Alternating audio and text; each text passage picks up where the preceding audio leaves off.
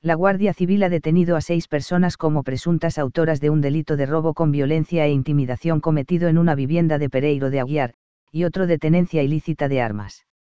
Los hechos ocurrieron el 20 de septiembre de 2020, cuando seis encapuchados asaltaron en el exterior de una vivienda situada en Pereiro de Aguiar, a la propietaria, obligándola a entrar en la casa y, tras amenazarla, se apoderaron de 8.600 euros en efectivo, joyas y un ordenador, todo ello valorado en 15.000 euros.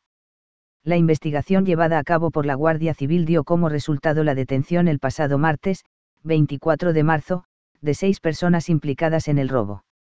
Se trata de DMS, de 39 años de edad, LMS, de 34 años de edad, JRB, de 26 años de edad, vecinos de Ourense, JSB, de 40 años de edad, vecino de Pereiro de Aguiar, JSB, de 28 años de edad, vecino de Paderne de Ayariz y CSB de 37 años de edad, vecino de Maceda.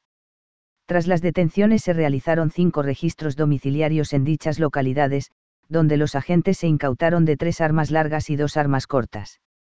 Según informa el Instituto Armado, la operación que lleva a cabo la Unidad Orgánica de Policía Judicial de la Comandancia de la Guardia Civil de Ourense, apoyada por agentes de seguridad ciudadana de la Comandancia de la Guardia Civil de Ourense y por el Grupo de Reserva y de Seguridad de la Guardia Civil de Pontevedra, continúa abierta. Los detenidos fueron puestos a disposición del Juzgado de Instrucción número 1 de Ourense.